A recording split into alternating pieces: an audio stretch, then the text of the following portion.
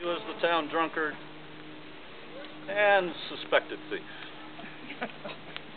so they led the four of them to the outskirts of town under armed escorts.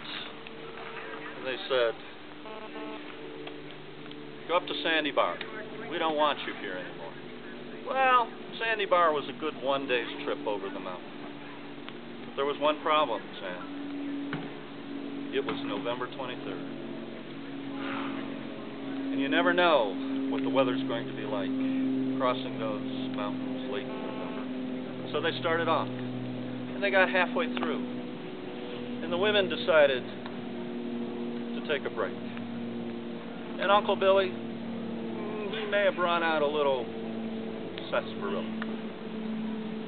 And pretty soon, they decided to make camp there, even though John Oakhurst recommended against it. So they made camp, and the skies became leaded. The air became chilled. Then, a horseman approached. Who was it? It was young Tom Simpson.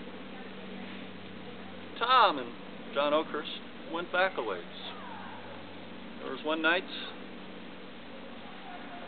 when they were playing poker Tom Simpson lost all his money to John Oakhurst. And Oakhurst took him aside and said, Tom, you're a nice little man, but you're not worth a cent as a gambler. You know what he did? He gave him back all his money. Simpson appreciated that, and upon seeing Oakhurst, he felt good. And Oakhurst said, Are you alone?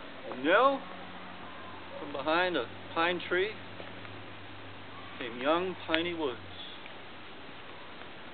Seems that Tom and Piney wanted to get married in Sandy Bar, but Jake Woods, Piney's dad, wasn't in favor of it. So they decided to go to Poker Flat and get married. But here they were in the camp. So they decided to stay the night. They had plenty of provisions.